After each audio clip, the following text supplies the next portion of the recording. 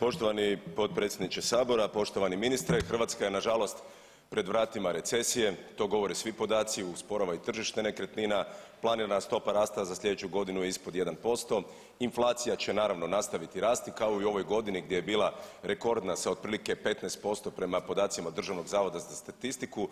To je razlog zašto su u Hrvatskoj plaće pale realno i mirovine za preko 6% i zašto građani naše zemlje svaki dan žive sve teže. Potrošačka košarica je poskupjela za preko 20% i sirotinja, umirovljenici, nezaposleni, ljudi koji primaju socijalnu naknadu jedva spajaju kraj s krajem.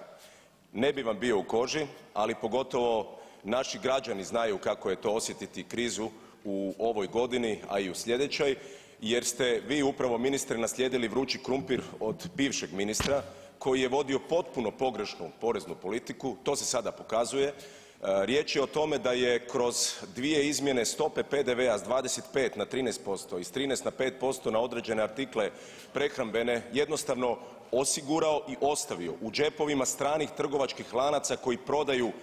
inozemnu robu, ne domaću robu 3,6 milijarde kuna umjesto da je dio novca usmjerio u pozitivniju investicijsku klimu. Samo je jedan put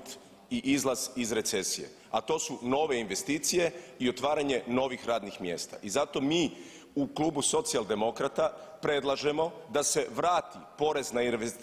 na reinvestiranu dobit od 0% koji je nekad bio u Hrvatskoj, da se u turizmu stopa poreza na dodanu vrijednost za usluge pića smanji s 25 na 13%, to je imalo pozitivne efekte u investicijama u turizmu i da se 20%